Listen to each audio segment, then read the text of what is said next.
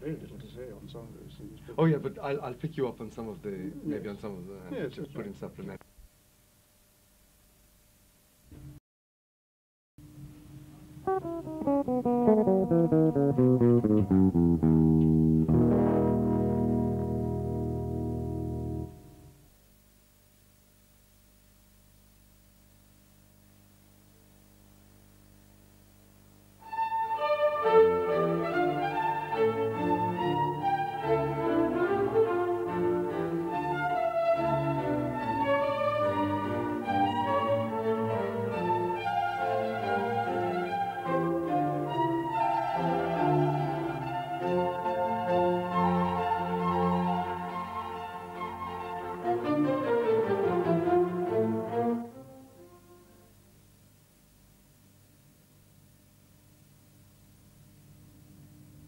Martin Argyle was the longest serving warden in the history of the college.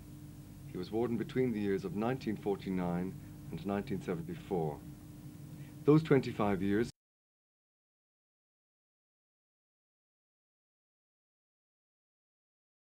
Dublin for an interview, the first time he had been in Ireland.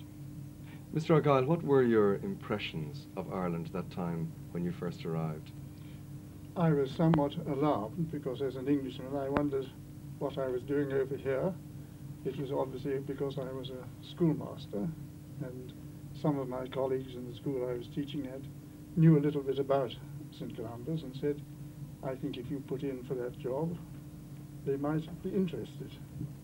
And what, what were um, the what did you find in the college? In the college, when when I in the college, I was very struck by the great number of activities that went on. It, I was reminded of it at, in this activity of conducting a video operation at the moment, because it struck me that it was far less stereotyped than schools I'd known in England, where there was generally one or two pathways to fame, namely academic success or athletic success. And there seemed to be uh, the, the ability here for people to develop as individuals in their own way. But what sort of activities were there that, that you didn't find in English schools, for example? Well, housemasters in English schools tended, on the whole, to put, a, in those days, to put great emphasis on sport and on work. And here we had, and, and perhaps mu- music as well. And here we had all sorts of different activities, crowd, rather crowded in on a Saturday evening, I remember, um, like the printing club and carpentry and, uh, and uh, all those different activities. I can't remember actually the details of them any, but there were very many of them. And Yes. this struck me as being a very good thing indeed. And the farm, did the farm? And the farm was in. Uh, I was attracted by that because um, you know it was it was a, a natural activity for Ireland, I thought, and uh, the department had got a link with us here, and I was interested in that, and that's one of the things I found attractive about the college. When um, Dr. Sobey, your predecessor, arrived in uh, 1933, the college was in something of a crisis. It Numbers were low and so on. What was the uh, future uh, facing the college when you arrived? Was, was there that same atmosphere of um, the, the need to change things? The I, I would say that it wasn't so much inside the college as in Ireland as a whole, because uh, round about the time I came here was the repeal of the External Relations Act, and particularly and the the- Declaration of Ireland as a Republic. Yes, and and particularly for the Protestant side of the community, that left an extra uncertainty in their minds, and therefore in a school that was basically a Church of Ireland school, they, there, there was some feeling of doubt as to what its future would hold. Uh, and uh, I think, amongst other things, it was desirable that it should have a stretch of, in some ways, no history, but successful history. And was it an advantage or a disadvantage for an Englishman um, to be like yourself to be presiding over Mm. uh, a school in Ireland at this crucial time uh, in, in Irish history? I suppose it was the links with the headmasters' conference that made it possible for an Englishman to be coming here. I can remember at Haileybury, where I was on the staff, uh, uh, one of my colleagues saying to me, "Well, Argyle, what are you doing going over to an Irish school? See, like that. And I said, well, I'm an Englishman with a Scottish name. It seems right to be going to Ireland. and did, did you encounter any uh, problems when you came uh, because you were English? I wouldn't have been conscious of this. I think the Irish are naturally courteous. We had a we we had um, a remarkable staff really here already in existence, and I had they gave me great welcome and great support and made everything you know as easy as possible. I think the doubt, if if there were doubts about it, were in my own mind, and um, I had great help from the chairman of the headmasters' conference in those days, who had been my master at Marlborough, my headmaster, and George White's headmaster at Marlborough. And he was chairman of the headmasters' conference, and he got in touch with me after the appointment. And he emphasized to me, don't make the mistake of trying to turn an Irish public school into an English public school. And those words were my text, really. I see. They might we might consider them unusually enlightened for an Englishman yes, to say that. Yes, yes, What distinctively Irish features did you um, wish to, to keep preserved in the school? Well, I think uh, I don't know really what what features in the school were Irish, apart from the Irish accents. The, the North and South, of course, was the, the North was better represented than I think it is today. That's right. Yes. Uh, it was perhaps more more like the mix that, that was in those days in TCD Yes. here, and one was very anxious to keep that if it was a, at all possible. Um, of course, there was the teaching of Irish, which it was rather strange to, ha- to find oneself fostering, but it seemed to me to be a natural uh, a natural thing so soon after national independence had come to this Yes. part of the country. Did, and did you did the, the, the college receive the same uh, financial assistance from the Department of Education as other schools and as yes, it does today? yes, it did. And that, i i incidentally, was another thing that I thought was very good about the educational system of Ireland. One might criticise its syllabuses and so on, uh, as one did from time to time. Uh, but there wasn't the same division between kinds of schools. They ultimately, their, their heads all met. And they were all on a, a level in one way, although their fees would be different Yes. they received the same assistance from the state, and this, this was a remarkable thing. I often used to think I ought to rise at the headmasters' conference in England and tell them how to do it. For- for- Uh, Did you ever? No. uh, you, you, you've Mhm. talked about the strengths that you found and what appealed to you. Mm. You must have found weaknesses too. Yes. What, what were they? Well, first of all, there was there were one or two members of staff when I came here who had been appointed probably uh, in the, in wartime, and weren't of quite the same calibre as the others, and uh, those changes hadn't been made in the few years after the war, because I think it was still comparatively difficult to get Yes. staff, and they were in startling contrast, really, to the very to the real giants in the land in those days. I mean, Sandham, John Willis, George White, Dr. Gruco, um, Sean uh, Kelly, Eugene Kelly, Ashing Kelly, yes. um, Sean Brooks, um, Noel Kennedy. I mean, these were all. Well, did you have to do some firing and rehiring then? I had to do a little bit of firing, which Yes. was always is always unpleasant. Yes. especially as you know, they, they were equally kind to us as we as, as new boys. Yes. And, and did, did the did the other staff, the the giants that you mentioned, understand this and sympathise with your they did, predicament? they did very much so. Yes. There wasn't a feeling of people being victimised. I don't think so. So they they hit it. Yes. Good. Mm, Um, you mentioned um, Dr. Willis and, and Mr. White. mm. Two of those um, men were your sub-wardens, and, and you were, mm. later, you were the third sub-warden, Yes, Norman Lush. Yes, that's right. What was the relationship you had with the, the three sub-wardens, and did it very much depend upon the individual um, a- and the way they saw their role, or did you determine what their role was? Um, I would say that um, to a certain extent I determined their role, but they were such, I mean, particularly in the case of my, the two that I had as sub-warden for most of the time, uh, namely Dr. Willis and G.K. White, they are tremendously strong personalities, and practically anything that one was doing in the college, or planning to do or thinking of doing, was thrashed out with them. And uh, their views were always very much taken into account. In fact, they were the basis of the sort of kind of consensus that the relationship with Wi- Willis and then with White was the basis of the consensus I tried to work with Yes. the, with the staff as a whole. Did, did you find yourselves uh, in opposition at any time that, that you can remember when No. when they would have strongly disagreed with the course of action you were taking? No, I, I know. I can remember uh, Mr. White saying to me, even if you decide to go the way I don't think you ought to go over this question, I will back you up to the full. And that was their attitude. And it's a very wonderful attitude, really. Good. Uh, in the in your early years here, did you have any particular problems or crises that you recall? Well, I think um, the most startling crisis was one which was a crisis in my own imagination more than anywhere else. And it was to do with the IRA in the early 1950s. Don't know whether you would like to hear a bit Yes, indeed, please. um, uh, about it.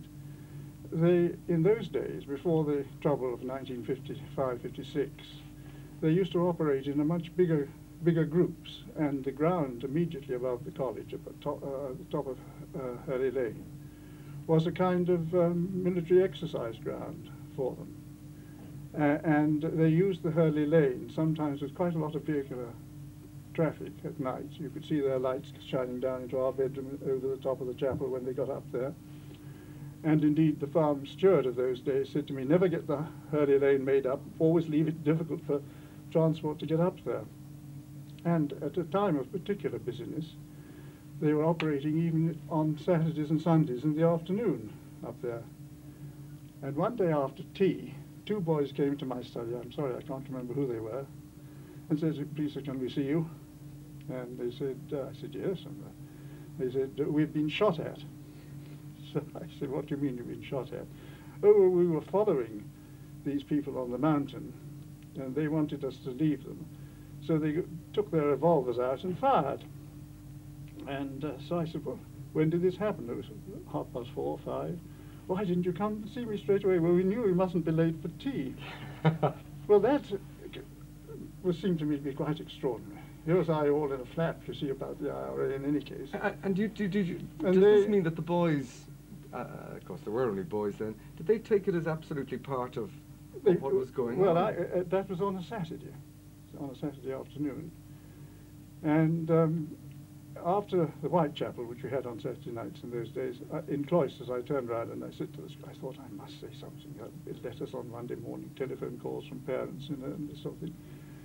So I said, you know, some of us find the weather, weather a bit hot up here at times, but when you describe it in letters or telephone calls, it may seem hotter to the, at the receiving end, your parents and so on. So just be a little discreet. Do you know, I never heard from a single parent or anybody outside responsible for the members of the college. And I suddenly realized that the crisis, this was just part of Irish life. But it would seem strange to us listening uh, Mm. to you today Hmm. that, that, for example, the Gardaí were not um, called. The Gardaí and- were called. Yes. the Gardaí were called. Uh, and uh, they came and, s- and went up and saw the bullet marks on the wall up by the gate at the top of Hurley Lane. Um, uh, I got in touch with the government through the Dockrell family in the Dáil because uh, I felt, uh, you know, I wanted to be reassured about this. And the answer really, really was quite extraordinary, was that uh, tell Mr. Argyle that I don't think the college is at any risk.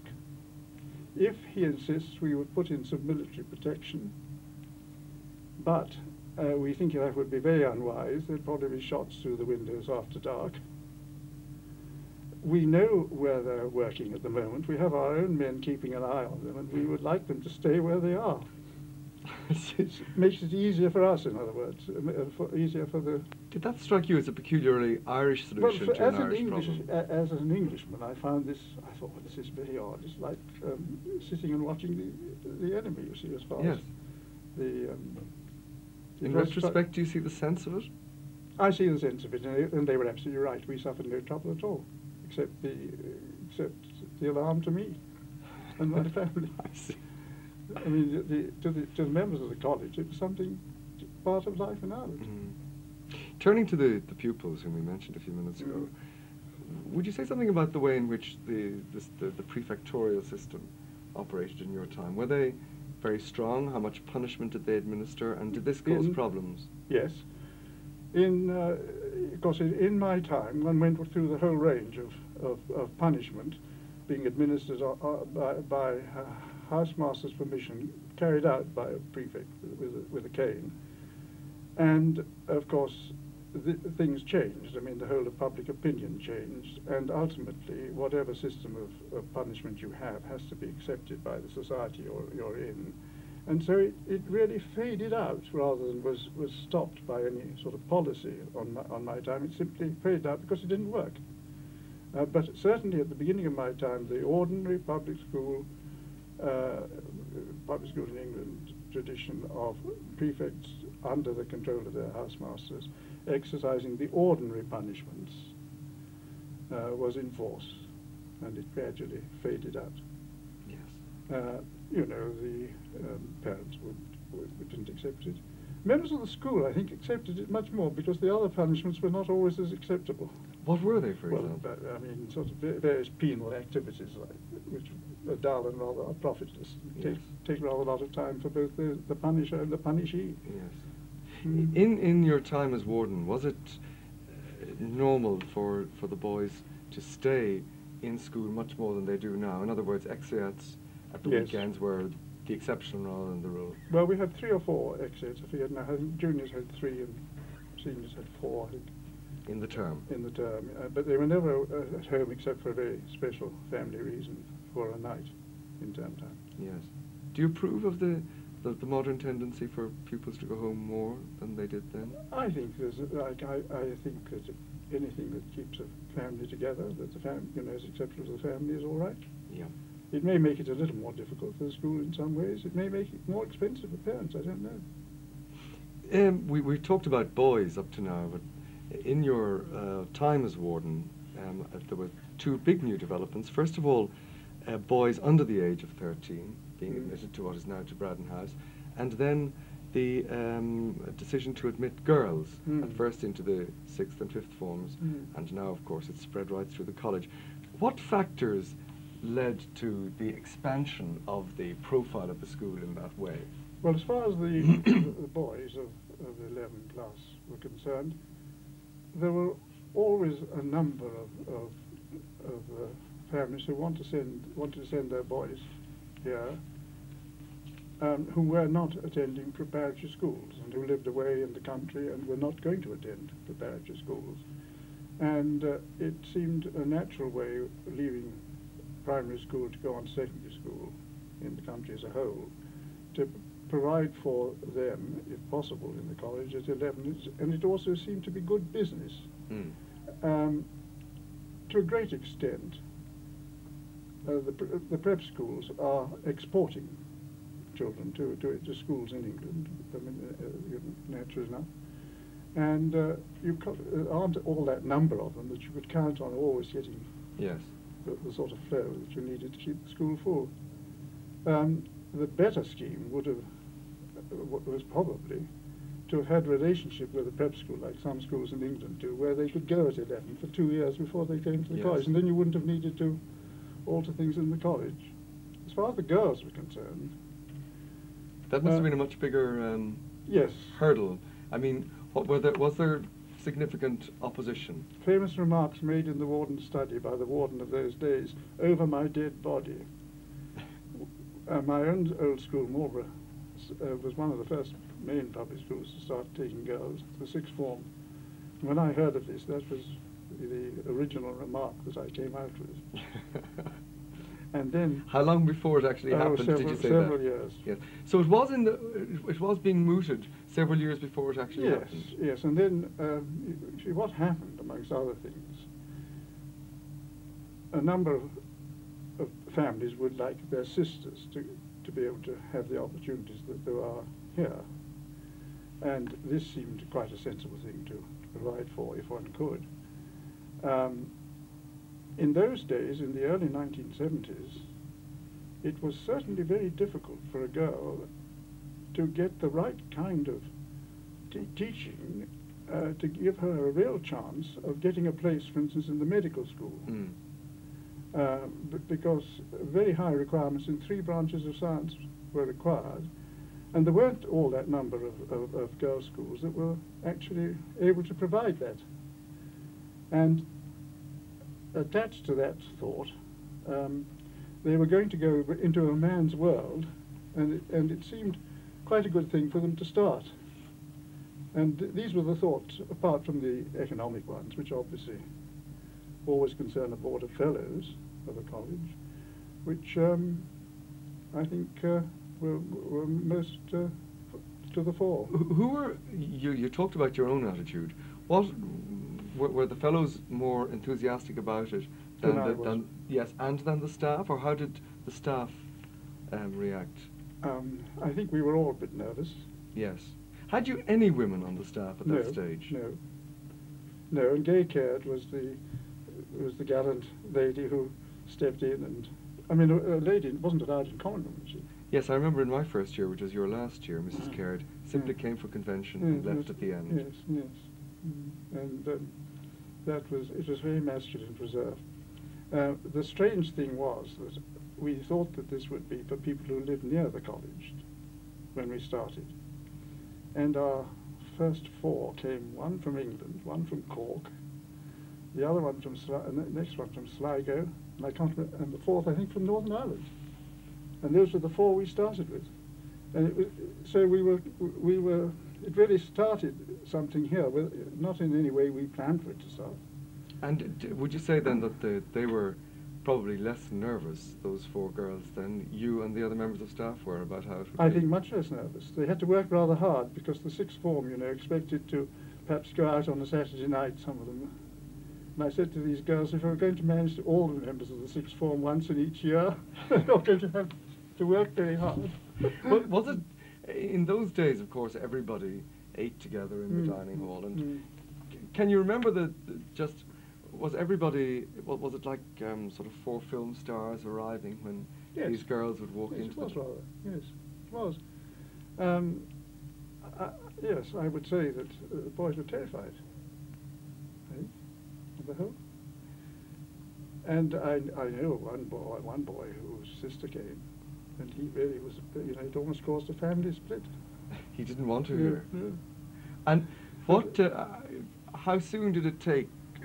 Uh, how long? How soon did it take for the ice to break, or did it? Well, we were very lucky. We had four very exceptionally nice and very sensible girls, including one or two very clever ones in those first four.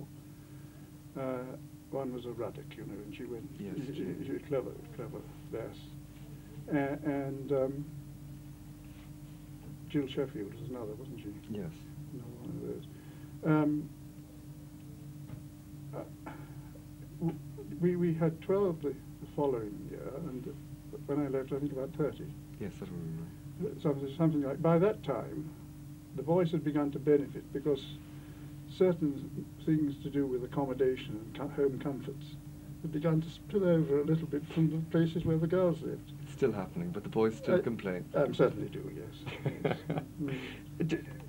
Um, you, uh, uh, uh, up and indeed uh, Warden Gibbs, were chairman of the, your own board, Mm, chairman of the mm, fellows. mm. This presumably is relatively unusual in schools like this. Uh, And uh, how did you find this role as, as chairman of the board to whom you were answerable? Well, it, it, that is a very, very interesting question because it, it is unique in schools. The, um, when I was appointed here, it was explained to me that at the first meeting of the fellows, when I would be in the chair as warden, I would have to put from the chair a motion that the warden should no longer be the chairman of the fellows, which uh, they had to tell me that beforehand in case, uh, you know, so that I would know that this wasn't any getting at me at all. Yes. And um, so the first fellows' meeting, we duly debated this point, or it was debated round the table with, and I was the youngest person present, sitting at the end of the table, and all these worthies round on either side uh, talked about it and voted, and voted very strongly actually that the warden should continue to be the um, chairman of the of the fellows. And uh, afterwards, Robin Gwynn, who was a very, very distinguished old Columban, had been acting fellow in interregnums, uh, inter- uh, acting warden in interregnums, and was, you know, very beloved on in, in, in, in Trinity, and a real character. He used to sit there at a fellows' meeting with his box of tricks out here, and you thought he was hearing nothing, his eyes shut, and then suddenly he'd answer, ask the most pertinent question. He wrote to me afterwards and said that in his experience, uh, when he was acting as warden, it had been a strength to him as a young man to be able to bring to the fellows and see that there was that that was discussed by the fellows, which seemed to be important for the college. And he was very glad that they voted that way. So that the war- he felt the warden should be able to determine the agenda Yes. of what the yes. fellows. You see, there always was a, a, a finance and executive committee. Yes. So it really was more on, on matters of school policy and education that you dealt with in the, the fellows. Did, did you refer very much to them about those? Well, I made it my business to try and see that the fellows were really involved in decision making. And this is the point that Robin Gwynn has been making to me. Yes. That, uh, that you could then see that the fellows were brought face to face with the questions that had to be answered and, and were brought to the point of making an, an answer. And, uh, you know, considering it and making an, a considered answer. Yes. And uh, so that, um, of course, it is just the same system as you find, well, in TCD, and as you find in all the Oxford and Cambridge colleges. The, the, the warden or the provost or whatever, whatever the title may be, and the fellows are the, at law the college. It, you, we talked about the, I suppose, the, the fundamental decision to admit girls, but what other developments in the uh, over that long period of 25 Mm. years gave you most pleasure uh, during your time as warden? Um, I I think I would say that generally the attitude to academic work Im- improved, uh, and that there was. It wasn't that we just cared for and looked after potential scholars, because I think one of the great things about St Columba's is that it, uh, it caters for all. But uh, certainly scholarship flourished uh, under the very able members of staff and the stimulus that they gave to it. The other thing was bricks and mortar, our appeal, which led to the building of the science lab and established Dr. Summerfield and Mr. Macmillan in, in proper, suitable quarters at a time when they were very having a, a lot of influence on the um, on the, the syllabuses and the teaching of science, you know, throughout secondary schools in, in the Republic. Yes. And I think those are perhaps the two most marked things. And a final question: What do you think of the college as you see it now, 20 years Oh, I after think you retired? I think it's lovely the way it's developed. I really do. I What mean, changes do you see? Um, well, there's much more residential accommodation, there's better, better classrooms, and uh, one of the great changes has been the tidying up of the, of the yard by the using of the, the buildings, particularly on the far side of it. One of the great changes was when we got, uh, when those places in the yard were made into studies, which I thought was very good. And um, I think Mr. Gray has a maths room, doesn't he? Somewhere maths room, uh, yes. there, which is, which is which is great.